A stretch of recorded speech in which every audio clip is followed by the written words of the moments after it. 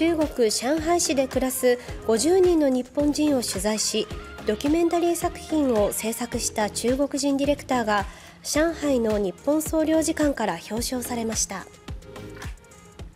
先入観じゃなくて、まあ、国籍じゃなくて、まあ、人間として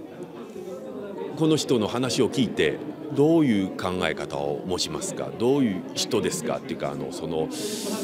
それは大事と思いますよね。中国人ディレクターの隋華傑さんは13日映像制作を通して日中友好に貢献したとして上海の日本総領事館から表彰されました隋さんは日本に留学した経験があり日本に恩返しがしたいという思いから日中国交正常化50年となるのに合わせて